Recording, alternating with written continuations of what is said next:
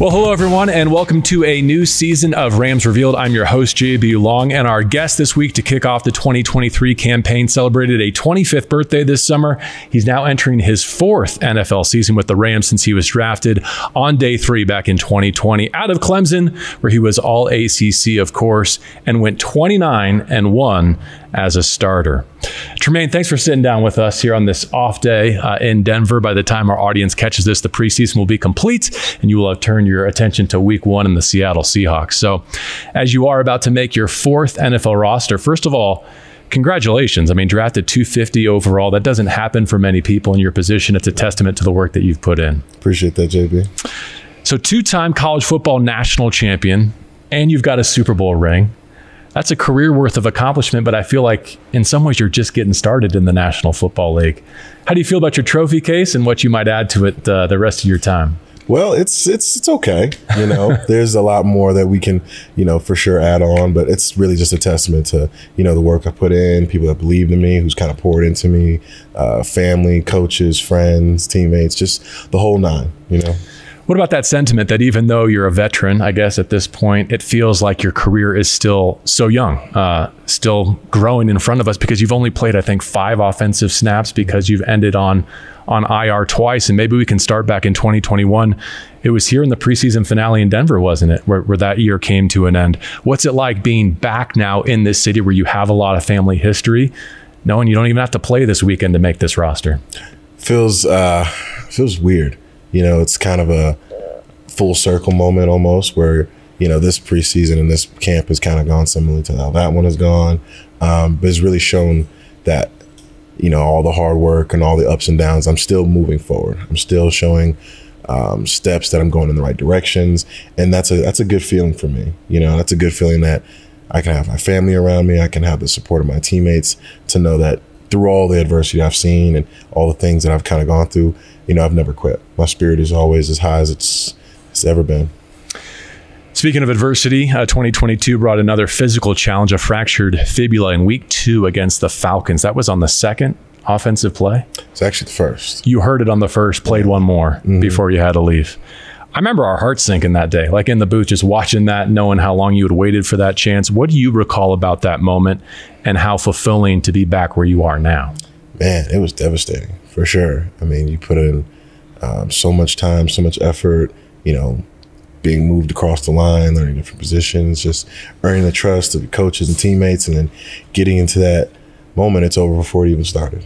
So, um, you know, that almost put me in a position where I didn't know if I was, you know, if I was even up to play football anymore. Uh, it put a lot of questions on, you know, what am I doing? Uh, what am I putting my time into? What's important?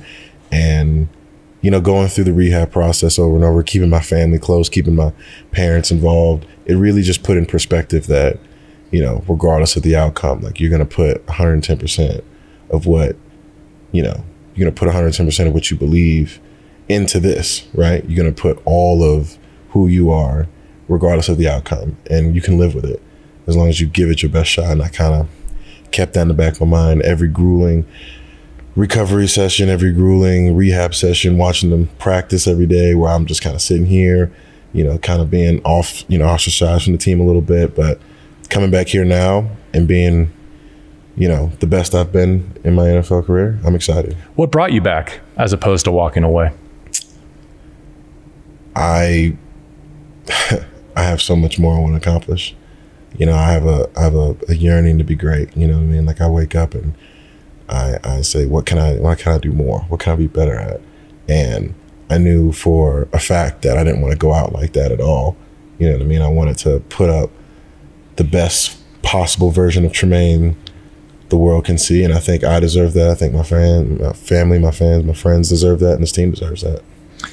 Walk me through that transition you referenced, uh, a lifelong tackle, learning to play guard in the National Football League. Like technically, what had to happen to make that possible? how you see the game a little bit.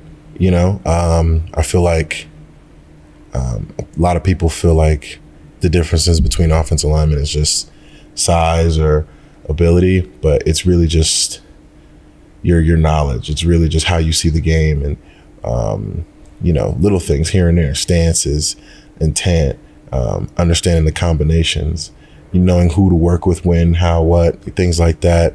And most blocks on you know run plays start with the guards.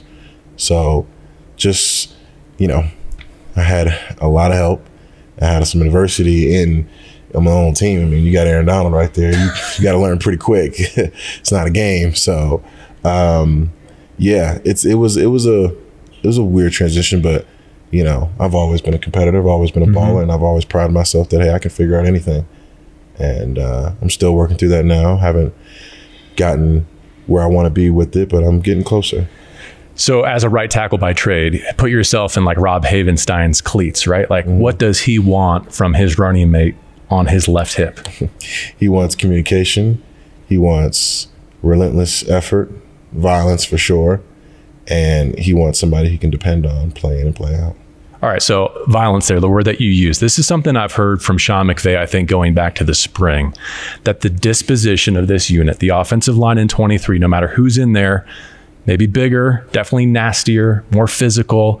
We're going to have to see it to believe it, of course, starting in Seattle. But what preview can you give us? This offensive line is going to be the best it's ever been. I believe that wholeheartedly.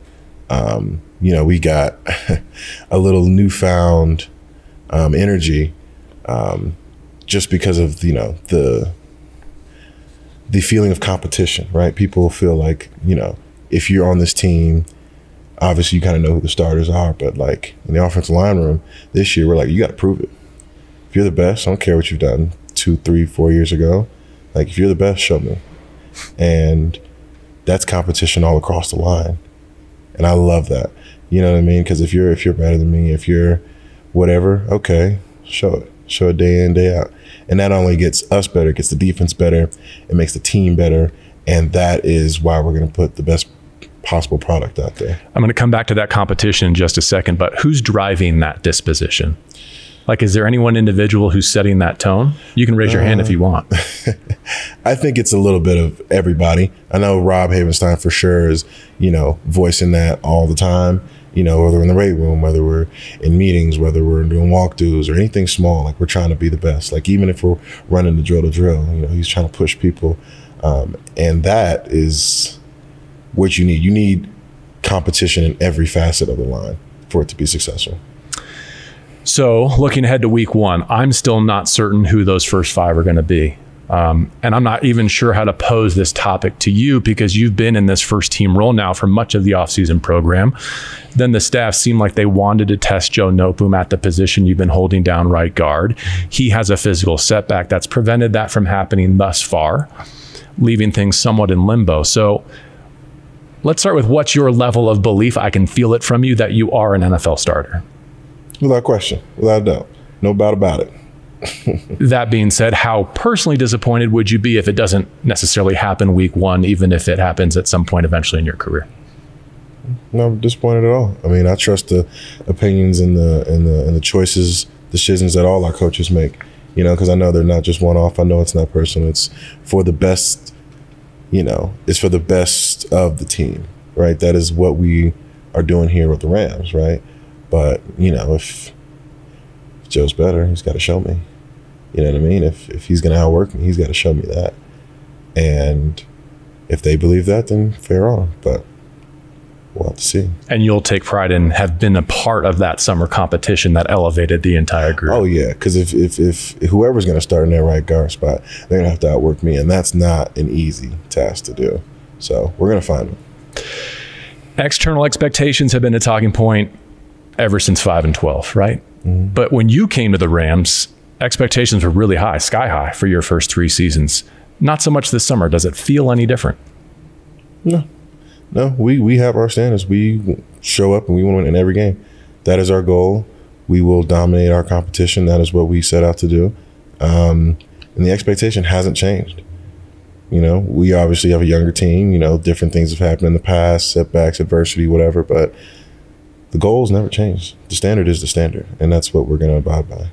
And Sean McVay has told us that he thinks this past week, by the time you know this this podcast, this video cast uh, airs was your best week of practice. Not just you individually, but the Rams got better more this week coming to Denver than they had the entire offseason. What optimism does that give you as you now get into a game plan? We're moving in the right direction. You know, whatever doubts, whatever offsetting beliefs that you had because we were young or whatever, not really sure where we were, those are starting to dissipate and we're starting to believe more, right? Mm. Um, there's obviously testing it against other people um, gives you a bit more confidence too, but just seeing individual players and spots get better and that giving more confidence to other players around them and seeing that kind of, you know, come together, you're just like, okay, we're putting this thing together and we're coming in at the right time. It's pretty rare that uh, a fan base knows more about the person off the field than the player on. That's just kind of the circumstances that have defined your tenure with the Rams so far. But I love the contrast between your persona as a player and who you are off of it. And community service is, is something that a lot of us do, a lot of people do, but it seems to me that it's what you're about. Does that make yeah, sense? For sure. Let me quote Andrew Whitworth, who was the uh, Walter Payton Man of the Year in 2021. Most of the time, no one knows what Tremayne is doing, and that's the most impressive part. It's just who he is on a daily basis and wanting to make his community better. He shows up, and I think sometimes in life that's the best thing we can do just show up. Tremayne Anchrum Jr. does that.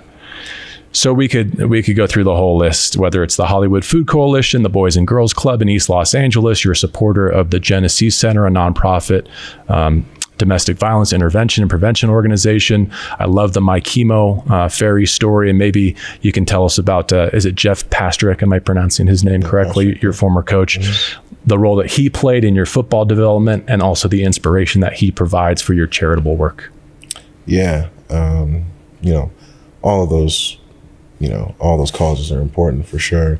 Um, the My Chemo Ferry is for sure personal for me. It's it's in a place that um, Jeff was a huge, huge, you know, part of my football career. Because especially coming into high school football, I'd actually taken eighth grade off, so I really wasn't sure, um, you know, how I fit into football. But then, kind of being thrusted into the line position, and I had a lot of ability, but I didn't know what I was doing. I was like maybe 200 pounds, like I didn't know what was going on. But when that when I had that coach there, he believed in me and he kind of pushed me, and he really understood that you know it's not about where you are now, right? It's about where you're going to be and what you where you want to be. So I took that, and he challenged me every day personally, and I was like, all right, I can do this. You know what I mean? And we took steps every day. You know, setbacks, there was this, there was disagreements, but for the most part, you know, he went out of his way to make sure that I was ready and that I, you know, competed to the best of my ability, and I've carried that through my whole life, not just football, but you know, my whole life in every area. So, you know, being able to give back to a cause that was so, you know, that affected him and his family and me. So I was like, all right, how can I help? You know, where can I have an impact? And I think, you know, working through uh, Heather, uh, we kind of came up with this and we've been rolling with it. Hmm.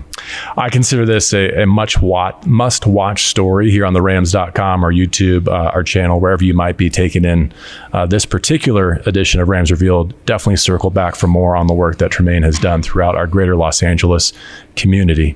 You are Tremayne Anchrum Jr. I'd love to hear a little bit more about Tremayne Sr., especially because we are here in Colorado where he was all state in both football and basketball.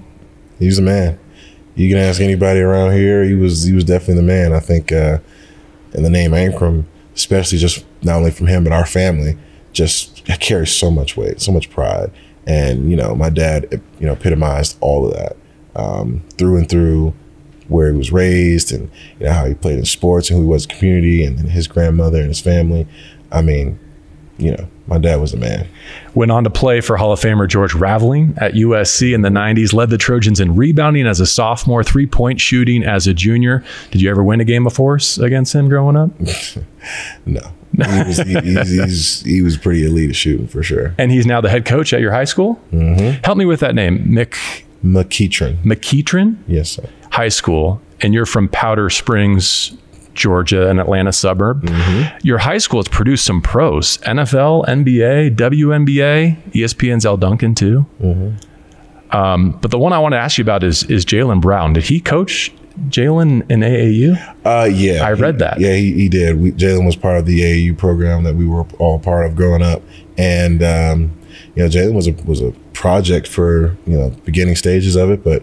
Again, that's a guy that doesn't quit. He's smart. He knows how to learn. He prides himself on outworking people and, you know, being being one of the most fierce competitors. So, yeah, my dad was really with them for sure. Just signed the richest deal in NBA history with the uh, Boston Celtics, five year, $300 million super max. All right, we finish uh, Rams Revealed with the segment we call three and out. Uh, after each episode, I make a donation to the LA Rams Foundation on behalf of our guest. You have a ton of, of charitable interests, and we'll, we'll talk more about that offline and figure out where we can.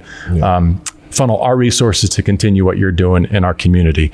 Uh, but these are meant to be lighter hearted questions, no wrong answers, just so that we can get to know you better. This is the uh, first road trip of the year for the Los Angeles Rams, first of many.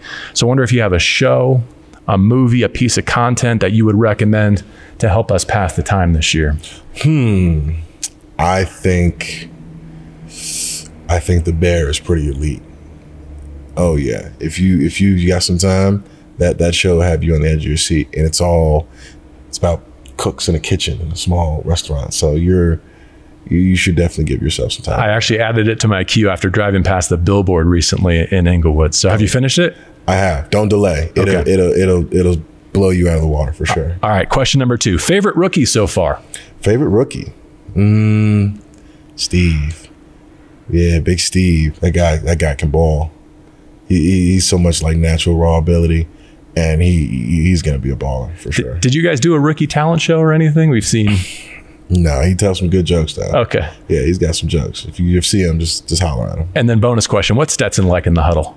Stetson. Uh, Stetson's so confident, even even when he like like read the play call wrong, or if he's you know not sure, he'll be like, "We're gonna do this," and it's like, I like that, you know, especially for a young guy who's kind of figuring out. You could tell he was nervous early on, but now he's really stepping into himself. Cool. Third and final question: How many games do the 23 Rams need to win for your new offensive line coach Ryan Wendell to shave that beard? You know what?